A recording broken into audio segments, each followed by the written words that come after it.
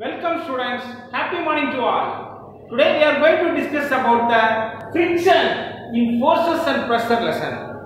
Dear students, do you know what is friction? Students நம்ம forces பத்தி படிச்சோம் இல்லையா லாஸ்ட்ல ஃபோர்ஸஸ் பத்தி படிக்கும்போது டைப்ஸ் ஆஃப் ஃபோர்ஸஸ்ல டூ டைப்ஸ் பார்த்தோம் contact forces and non contact forces contact ஃபோர்ஸஸ்னா forces applied with touching நம்ம டச் பண்றதுனால ஃபோர்ஸ் அப்ளை பண்றது. அது ரெண்டு ரெண்டு இது பார்த்தோம் ஒன்று மஸ்குலார் ஃபோர்ஸஸ் இன்னொன்று frictional forces muscular forces and frictional forces அதாவது ஃப்ரிக்ஷன் பற்றி நம்ம பார்த்தோம். நெக்ஸ்ட் பார்த்தோம்னா அந்த ஃப்ரிக்ஷனல் ஃபோர்ஸில் ஃப்ரிக்ஷன்னா என்ன? அப்படிங்கிறத டெஃபினிஷன் பார்ப்போம்.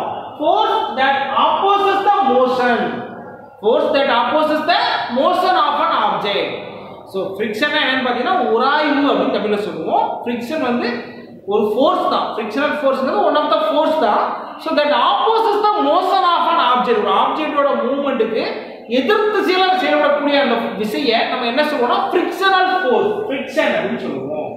ஸோ இந்த ஃப்ரிக்ஷன் வந்து எதனால ஏற்படுதுன்னு பார்த்தீங்கன்னா the caused by irregularities on surfaces friction is caused by irregularities on surfaces ஒழுங்கற்ற பரப்புகளினால் ஏற்படக்கூடியது நம்ம என்ன சொல்றோம்?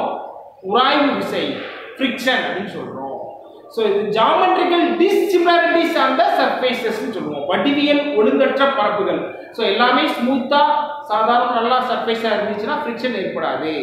ஸோ ஃப்ரிக்ஷன் வந்து எதனால ஏற்படுதுன்னா ஒழுங்கற்ற பரப்புகள் irregularities ஆன் சர்ஃபேசஸ் அந்த நேச்சர் ஆஃப் த சர்ஃபேஸை டிபெண்ட் பண்ணி இருக்குது அப்படிங்கிறத நம்ம தெரிஞ்சுக்கிறோம்.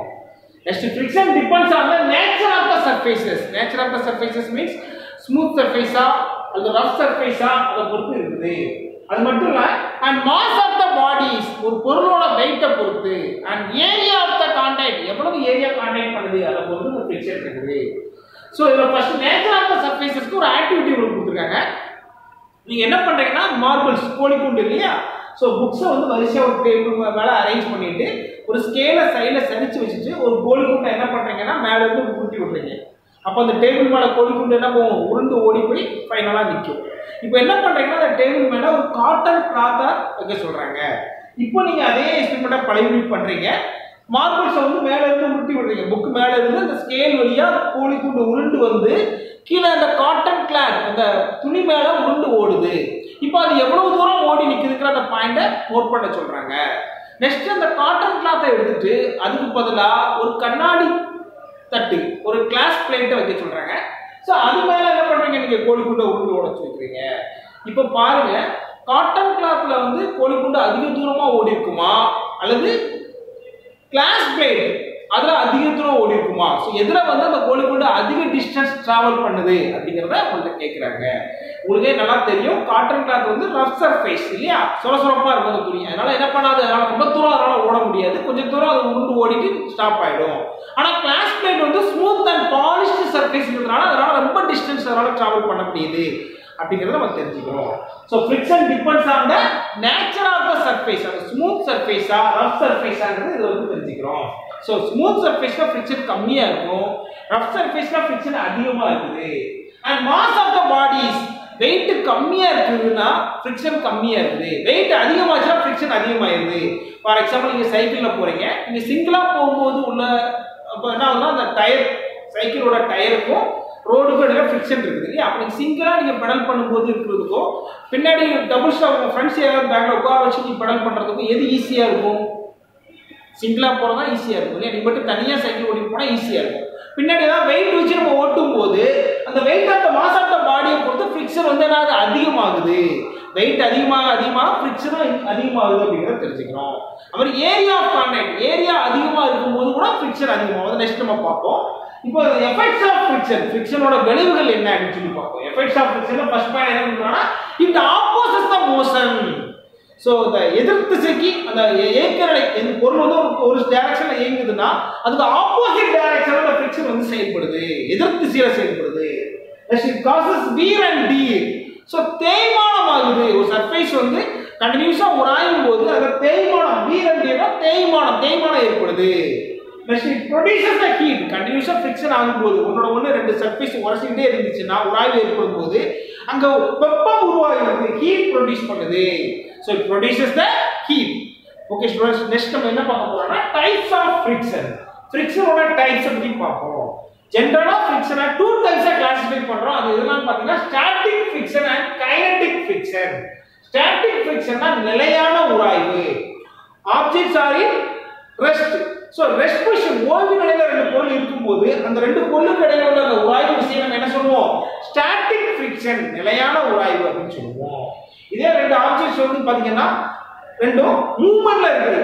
ஒன்று வேற டைரக்ஷன் மூவ் ஆகுது இன்னும் நூறு டைரக்ஷன் போகுது. ரெண்டும் இயக்க நிலையில இருக்கும்போது அந்த ரெண்டு ஆப்ஜெக்ட்ஸ் இடையில உராய்வு ஏற்பட்டுச்சுன்னா அதனால கைனடிக் ஃப்ரிக்ஷன் ஏக்க நிலை உராய்வு அப்படின்னு சொல்லுவோம். கைனடிக் ஃப்ரிக்ஷன் ஸோ அந்த கைனடிக் ஃபிக்ஷனை ஃபர்தராக என்ன பண்ணலாம்?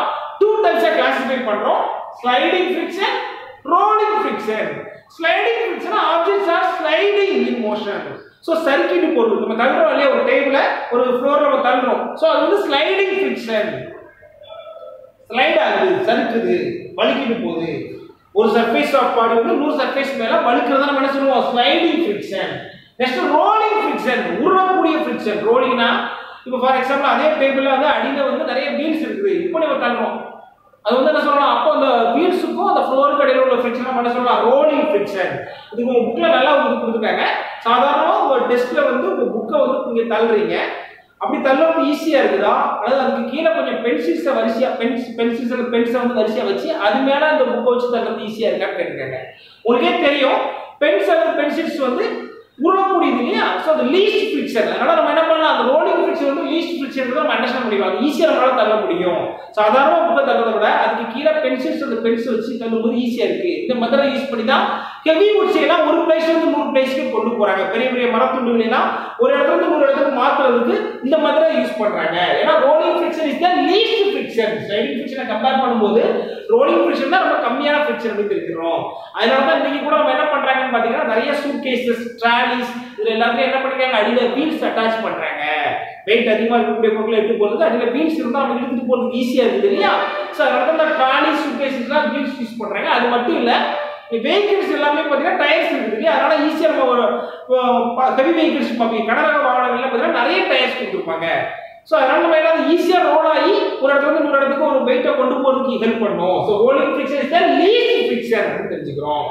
ஸோ ஸ்டூடெண்ட்ஸ் ஃபிக்ஷனோட டைப்ஸ் பார்க்கும்போது static friction and kinetic friction static friction பார்க்கும்போது ஆப்ஜெக்ட்ஸ் ஆர் அட் ரெஸ்ட் ஓய்வு நிலையில் இருக்கும்போது ஏற்படுது. கைனடிக் ஃபிக்ஷன் பார்க்கும்போது ஆப்ஜெக்ட்ஸ் ஆர் இன் மோஷன் ஏக்க நிலையில் ஏற்படக்கூடிய ஃபிக்ஷன் கைனடிக் ஃபிக்ஷனை ஃபர்தரா டூ டைப்ஸா கிளாசிஃபை பண்றோம். Sliding friction rolling friction sliding ஃபிக்ஷனா தள்ளுறது. ஸ்லைட் பண்றது. Objects are sliding in motion movement ஆகும்போது சறுக்கிட்டு போறது. Rolling ஃபிக்ஷனா objects are rolling at motion so movement ஆகும்போது உருளக்கூடியது. வீல்ஸ் தான் போட்டு உருள வைக்கிறவங்க இல்லையா? அப்போ rolling friction is the least friction அப்படின்னு தெரிஞ்சிடறோம். நெக்ஸ்ட் ஃபிரிக்ஷனோட அட்வான்டேஜஸ் அண்ட் டிஸ்அட்வான்டேஜஸ் பார்ப்போம். பொதுவாக ஃபிரிக்ஷனோட அட்வான்டேஜஸ் அப்படின்னு பார்க்கும்போது ஃப்ரிக்ஷன் இருக்க போய் தான் நம்மளால எந்த ஒரு ஆப்ஜெக்ட்டையும் ஹோல்ட் பண்ண முடியுது.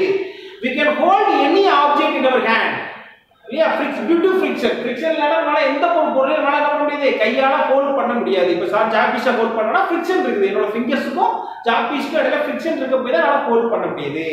அதே மாதிரி we can walk on the நம்ம ரோட்ல நடக்கிறோம்னா நம்மளோட காலுக்கும் நம்ம காலுக்கு போயிட்டுக்கும் அந்த ரோடுக்கும் இடையில என்ன இருக்குது? ஃப்ரிக்ஷன் இருக்குது.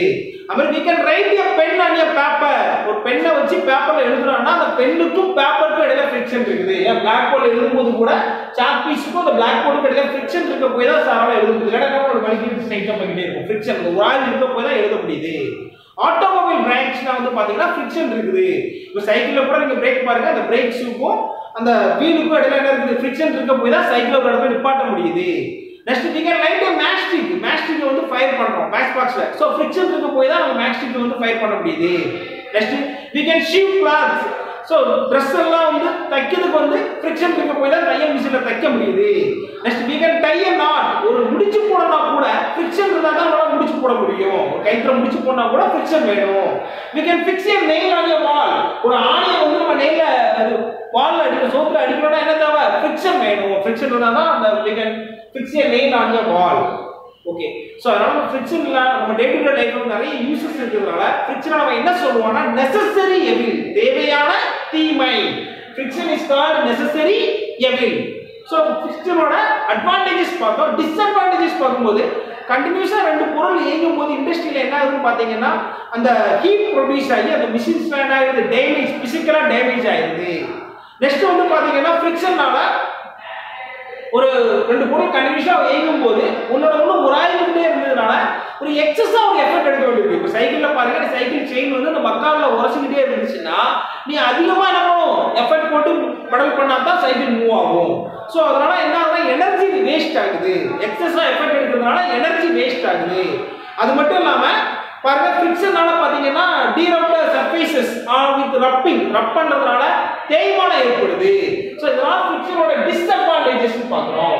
நெக்ஸ்ட் ஃபிக்ஷனை இன்க்ரீஸ் பண்ணலாம் அல்லது டிக்ரீஸ் பண்ணலாம். ஃபிக்ஷனை இன்க்ரீஸ் பண்ணணும்னா அதோட ஏரியாவை இன்க்ரீஸ் பண்ணணும்.